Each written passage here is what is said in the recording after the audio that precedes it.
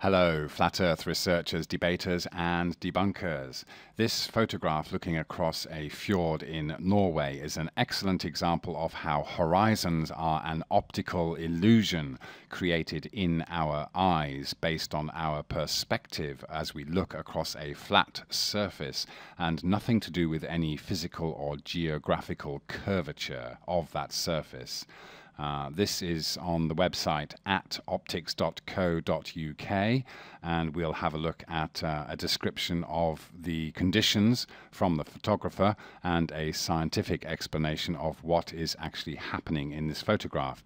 You'll notice a very kind of hard edge here of the water uh, with the band of mirroring on top, uh, which is mirroring the embankment on the other side, uh, uh, showing uh, the houses and uh, the trees and bushes being mirrored. So here is our actual horizon line with the everything mirrored beneath it, and uh, we will see how even this hard edge that we see here is not actually the surface. Uh, this was taken looking uh, six kilometers across the Son- Sundal Fjord, and the photographer says that we had rather cold weather, very close to freezing, and a breeze. Driving home from work at 13.30, I noticed pronounced inferior miraging of the shore details along the opposite coastline. As my route dipped and rose along the fjord, the phenomenon was visible only when I was low above the water. This fjord has, to my knowledge, never been known to freeze, and there has been reports that recent sea temperatures are warmer than before. I therefore assume that the sea surface was considerably warmer than the air temperature, and that a somewhat steeper temperature gradient existed close to the water surface than higher up.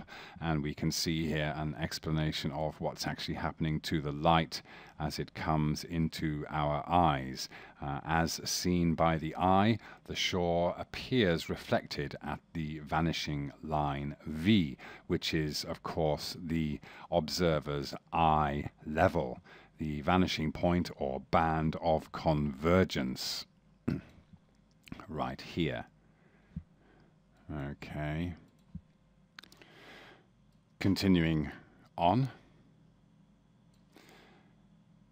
The picture was taken with a 300mm lens, 4 meters above sea level across 6 kilometers of sea. Houses and shore features close to the water are mirrored upside down. We can, we can see that here, the mirroring. The mirroring occurs not at the water level, but higher up at what is named the vanishing line. So that's here eye level, illustrated here with this line. The distant shoreline below the vanishing line is not visible. So here, this shoreline, although it's within the range of the observer's view, it is obscured. It is not seen because we have this coming down from A and B, blocking the mirroring is actually blocking what we would be able to see of the shore on the other side. So this gives us the illusion that there is some kind of hump of curvature because we cannot see where the shore, the opposite shore, meets the water.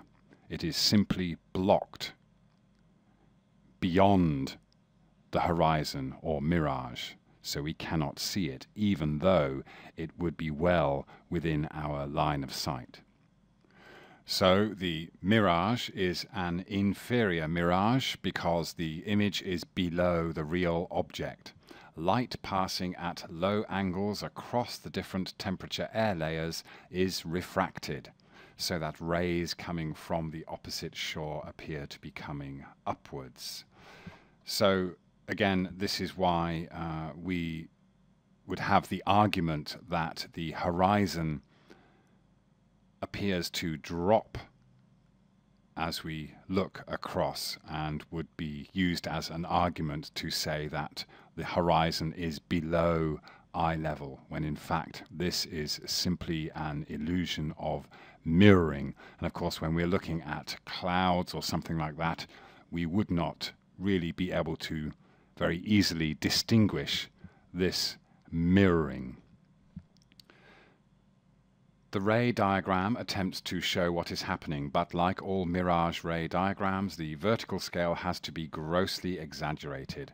All possible rays between the eye and the distant shore are shown here. So we've got the rays A, B, C, and they're coming up from here as well. Two rays from A reach the eye. The upper one is slightly curved downwards towards the warmer air. The lower ray from A is sharply curved and appears to the eye to come from shore details reflected by a mirror. So here's point A, and we've got this one line coming down gradually, and then another one that is a very sharp decline, creating this mirroring, which is blocking off the bottom edge of the shore on the opposite side. Uh, rays from point B lower down here do the same.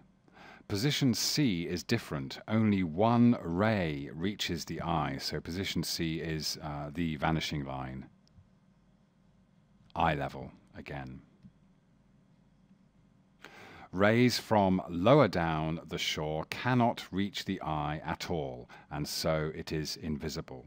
So here is our eye level, and below that we have what would appear to be curvature blocking off everything below. Okay. The level C is the level of the mirage vanishing line. The real view and inverted mirage view join at the vanishing line and the eye can see no details of the scene that are below it. Okay? So there you go. Perspective is the curve, the imaginary curve. This blind spot behind or beyond where the mirroring takes place is what people believe or perceive as curvature, when in fact all that's happening is the mirroring taking place above that and coming down below eye level or the vanishing line is what is creating this optical illusion. Perspective is the imaginary curve. Thank you very much.